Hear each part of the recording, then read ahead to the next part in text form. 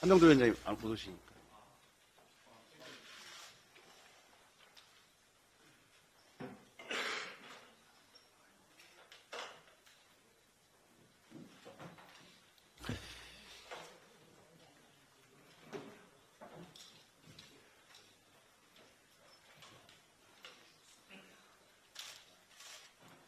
예, 지금부터 홍익표 원내대표의 속개 선언으로 더불어민주당 제 172차 최고위원회의를 속개하겠습니다. 회의를 속개하겠습니다. 그러면 먼저 홍익표 원내대표의 발언이 있겠습니다. 네, 윤석열 정부에 대한 사실상 첫 국감이자 어, 다시 하겠습니다. 윤석열 정부에 대한 사실상 첫 국정감사가 2주차를 맞이했습니다. 국민이 원칙입니다. 민생이 기준입니다. 더불어민주당은 정부 야당이 계속되는 국감 방해에 굴하지 않고 오직 국민만 바라보고 국정감사에 임하겠습니다. 서울 양평고속도로 노선을 대통령 처가 소유 땅 인근으로 바꿔 특혜를 주려 했다는 의혹이 더욱 커지고 있습니다. 국토부가 국감 직전 노선의 변경을 합리화하기 위한 경제성 분석 자료를 일방적으로 발표했으나 분석 결과에 왜곡 조작이 있다는 의문이 제기되고 있습니다. 그러나 국토부 장관은 용역업체에 책임을 떠넘기는 데 급급하고 검증 자료는 숨기고 있습니다. 여기에 더해 윤석열 테마주 업체에 대한 고속도로 휴게소 특혜 의혹까지 불거졌습니다. 우리 당 이소영 의원의 국감 자료에 따르면 변경된 강상면 종점에서 불과 1km 떨어진 곳에 건설되고 있는 남한강 휴게소 운영권이 대통령의 대학 동문이 운영하는 업체에 석연치 않게 넘어갔다는 의혹입니다. 한국도로공사가 새로운 운영 방식을 갑자기 도입해 특혜를 주었다는 것입니다.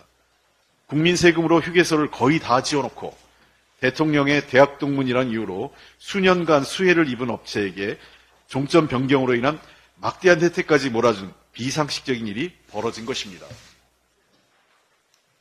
국민은 윤석열 대통령이 말한 공정과 상식이 어디에 있는지 묻고 있습니다. 정부는 더 이상 진실을 숨기거나 국민을 속여서는 안 됩니다. 성실하게 자료를 제출하고 사실을 밝혀야 합니다. 더불어민주당은 윤석열 정부의 특혜와 반칙 의혹의 진상을 명명백백히 밝히고 그 책임을 반드시 묻겠습니다.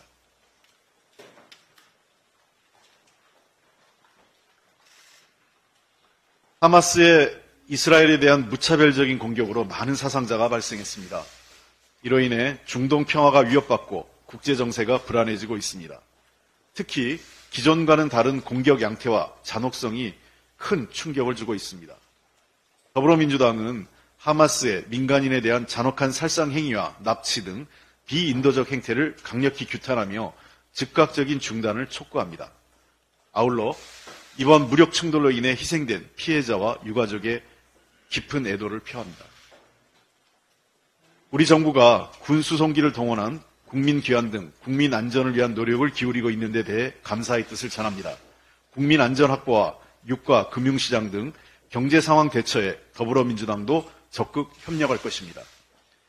이스라엘이 대규모 보복 공습을 단행해 희생자가 늘고 있고 하마스 개멸을 공언하면서 수십만의 병력과 전력을 집결시켜 지상군 투인이 임박해 있습니다. 가자 지구는 봉쇄되어 물과 음식, 전력과 연료가 바닥나는 등 인도적 상황이 급속히 악화되고 있습니다.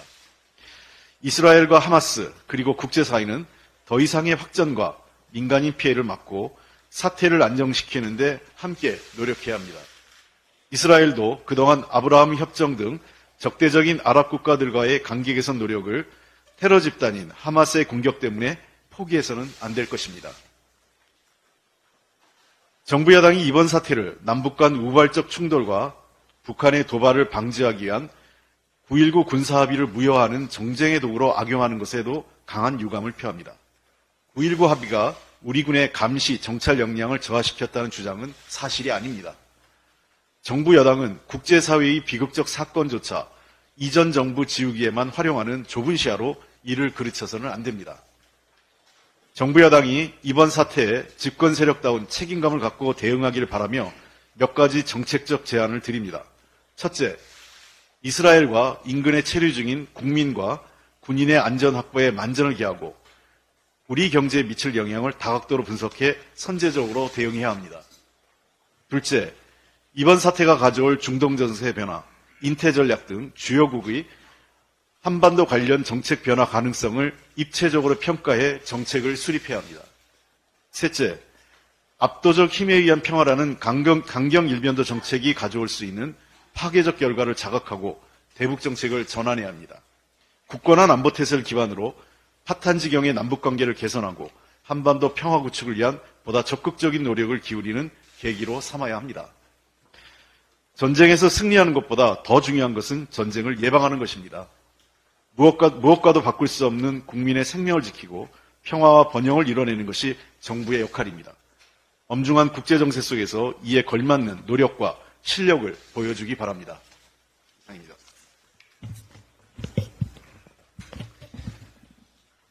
다음으로 박찬대 최고위원의 발언이 있겠습니다.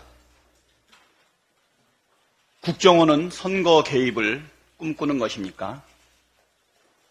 강서구청장 보궐선거 전날인 지난 10일 국정원이 투개표 시스템 해킹 취약점 등 선관위 사이버 보안 관리 부실 확인이라는 제목의 보도자료를 배포했습니다.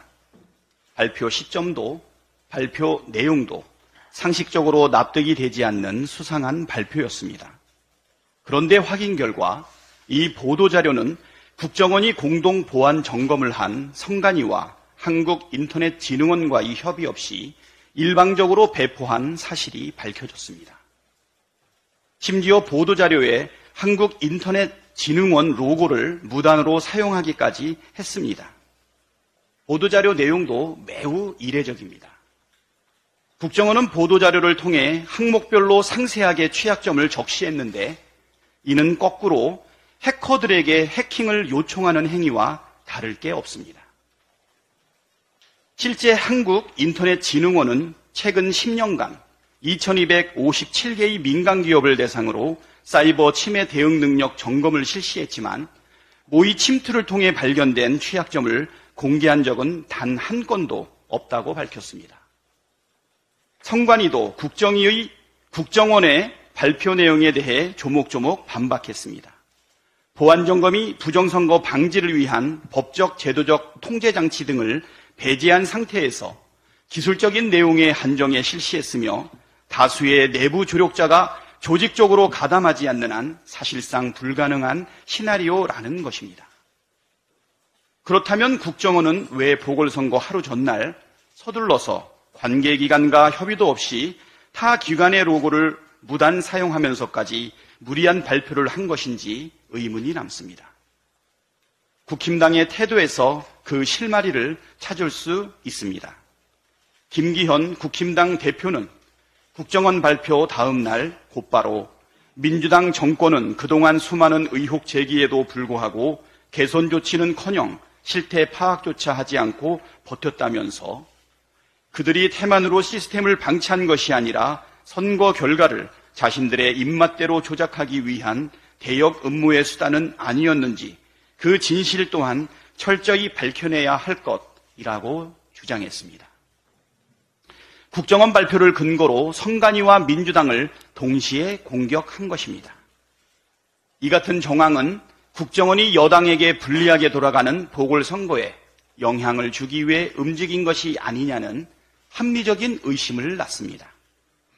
국정원 실세인 김남우 기조실장은 윤석열 대통령이 서울중앙지검 장 이던 당시 형사 1부장으로 함께 일했으며 강원랜드 채용비리 수사 외합 행사 의혹이 있던 권성동, 염동열 의원과 검찰 고위 간부들을 모두 무혐의 처분한 전력이 있습니다. 서울 동부지검 근무 시절에는 추미애 전 법무부 장관 아들의 휴가 미복귀 의혹 수사를 지휘한 바 있습니다.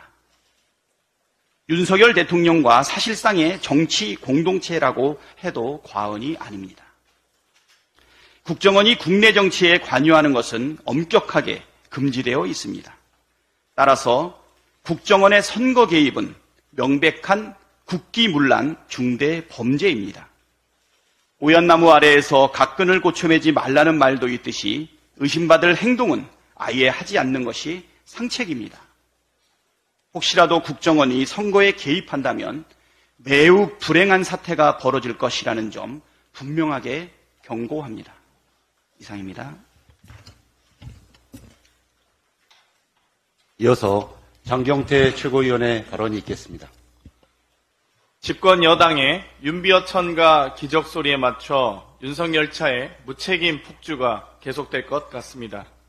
선거 참패 원인이 윤석열 대통령에게 있다는 내부 지적에도 불구하고 임명직 당직자의 뜬금없는 사퇴로 마무리되었습니다. 용산 출장소답게 꼬리 자르기 쇼를 답습했습니다. 불과 두 달 전 국민의힘은 집권 여당의 책임은 무한하다는 결의문을 발표한 바 있습니다. 끝내 사과와 반성, 무한 책임은 없었습니다. 선거 참패 수습책으로 당과 정부의 소통을 강화하고 정부의 국민의 목소리를 가감없이 전달하겠다고 합니다.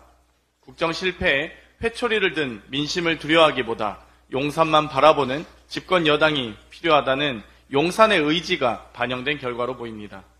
더불어 김기현 대표는 총선 패배하면 정계 은퇴로 책임지겠다는 하나마나한 얘기를 했습니다. 지금이라도 국민께 국정 실패는 집권 여당 책임이다. 윤석열 정권의 전면 개각 영수회담을 건의하겠다는 책임있는 당 대표로서의 처신이 중요합니다. 반성과 쇄신을 말해야 할 것입니다. 부디 윤석열 정권의 무한 폭주를 멈출 집권 여당의 무한 책임을 보여주시길 바랍니다. 도이치모터스 주가 조작 과정에서 김건희 여사 명의의 계좌가 이용됐다 법원이 재차 확인하고 못을 박았습니다. 김건희 엑셀 파일에 작성자로 지목된 투자 자문사 임원에게도 다른 주가 조작 일당들과 마찬가지- 마찬가지로 유죄를 인정한 것입니다. 그런데 여전히 검찰은 김건희 여사의 공모 여부에 대해서 수사 중이라는 입장을 자동 녹음기처럼 반복하며 김건희 방탄 검찰임을 스스로 인정했습니다. 수사 의지 없는 검찰, 이들의 의도된 무능은 지겹다 못해 신물이 납니다. 차라리 수사를 포기했다고 솔직히 말하시는 게 국민 건강에도 이로울 것 같습니다. 그럼에도 검찰은 정권의 충견 노릇을 계속할 듯 합니다. 그럴수록 김건희 특검법 통과에 대한 국민적 명령은 대통령 거부권으로도 무시할 수 없는, 없을 정도가 될 것입니다. 그리고 이 정권이 끝나면 정치 검찰의 직권 남용, 직무 유기, 직무 태만에 대해 하나하나 심판받을 날이 올 것을 강력하게 경고합니다. 이상입니다. 마지막으로 서은석 최고위원의 발언이 있겠습니다. 부산시 당위원장 서은숙입니다. 오늘은 부마항쟁 44주년입니다. 끝날 것 같지 않던 박정희 유신 독재도 결국은 국민의 손에 의해서 무너졌습니다. 1979년 10월 16일 부산에서 시작된 학생 시민들의 항쟁이 마산 경남으로 이어졌고 박정희 18년 장기 집권의 몰락을 알리는 시작이 되었습니다. 역사는 시험 치려고 배우는 것이 아닙니다. 미래를 알 수 없기에 과거로부터 배우는 지침서가 되는 것이 역사입니다. 독재는 결국 망합니다. 독재 권력은 결국 국민을 이길 수 없습니다. 해가 뜨면 해가 지고 바람이 불면 나뭇잎이 흔들리는 것처럼 진리입니다. 유, 유한한 권력의 파도가 민심의 바다를 덮을 수 없다는 것을 역사는 늘상 가르쳐 왔습니다. 44년 유신 독재의 끝을 향해 싸웠던 부산 경남의 역사는 그저 기념하고 지나갈 일이 아니라는 것을 우리는 깨달아야 합니다. 헌법을 고쳐가며 권력을 유지했던 박정희의 유신 독재는 2023년 오늘 대한민국에서도 재현되고 있습니다. 헌법을 무시한 권력기관의 오만한 통치가 횡행하고 있습니다. 검찰 대통령, 검찰 정권은 국가 권력을 자의적으로 남용하고 있습니다. 압수수색, 구속영장, 피의사실 유포 등은 이제 한국 사회에서 늘상 있는 다반사가 되었습니다. 눈 떠보니 검찰공화국이라는 탄식은 그냥 나온 말이 아닙니다. 경제 상황과 민생이 위기에 처해 있는데도 권력이 오만한 행태를 멈추지 않는다면 결국 몰락할 것입니다. 강서구청장 보궐선거의 결과가 정부 여당에게 보내는 무서운 심판이라 생각하지 말기 바랍니다. 강서구청장 보궐선거 결과는 국민이 윤석열 검사 독재 정권에게 보내는 가장 친절한 경고라는 것을 부디 깨닫기 바랍니다. 44년 전 오늘 유신 독재 정권에 맞서서 언론 자유, 유신헌법 철폐를 외쳤던 부산, 경남, 울산은 2023년 현재 검사 독재 정권의 폭정으로 큰 위기에 처해 있습니다. 후쿠시마 핵오염수 방류로 인하여 바다와 함께 살아가는 해양도시 부산은 큰 위험에 직면했습니다. 국가 균형 발전의 실패로 인하여 수도권 다음으로 많은 인구가 살고 있는 부산, 경남, 울산은 쇠락하고 있습니다. 부산 시민은 노인과 바다라는 자조적 한탄을 하고 있습니다. 불경의 몰락을 막고 대한민국 국가 균형 발전을 이루기 위해 문재인 정부에서 여야 합의로 추진하고 국회에서 법적 지원까지 결정했던 불경 메가시티가 윤석열 정권이 들어서자마자 시행을 코앞에 두고 취소되었습니다. 박정희 유신 독재를 무너뜨린 부망쟁의 주역인 부산, 경남, 울산 시민들은 분노하고 있습니다. 윤석열 검사 독재 정권은 포악적 통치를 멈추고 즉각 국정 기조를 바꾸어야 할 것입니다. 윤석열 검사 독재 정권은 불경 시민뿐만 아니라 전 국민을 위협하는 후쿠시마 핵오염수 방류를 중단시켜야 합니다. 윤석열 정권은 부울경 메가시티 파기를 사과하고 지난 대선 공약이었던 부울경 메가시티를 되살려야 합니다. 독재는 영원하지도 않고 오래갈 수도 없습니다. 잠시 위임받은 권한을 권력이라 생각하고 휘두르지 마시기 바랍니다. 역사를 두려워하는 보다 겸허한 마음을 가지시길 바랍니다. 이상으로 발언을 모두 마치고 원내대표께서 제172차 최고위원회를 폐회하시겠습니다. 네, 이상으로 회의를 마치겠습니다.